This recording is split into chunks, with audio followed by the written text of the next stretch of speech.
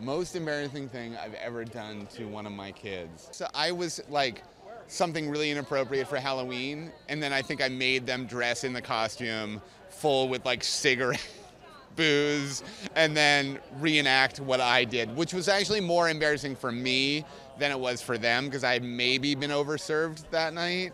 And so it actually, this was probably the most embarrassing thing that's ever happened to me.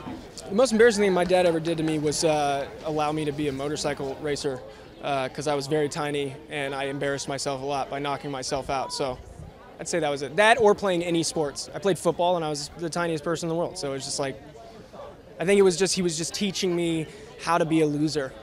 And it worked. I, me and my dad did so many, so many things together. We went on the road all the time. We were, because I, he was driving me while I was doing stand up. I couldn't drive myself. I was a child, and that's illegal. So I was in bars when I was 14, which is not illegal, surprisingly. And uh, I don't know. I, I one time, I've ha- handled some some hecklers in a way where I was like, I might have spoiled that I know what masturbating is before I ever had to like talk with him. I was writing jokes about masturbating, and then he would just see me do it on stage, and I'd be like, by the way, I learned it from South Park. They beat you to the punch. So I guess that could be embarrassing, but the jokes were fire, so it was no part of it was embarrassing.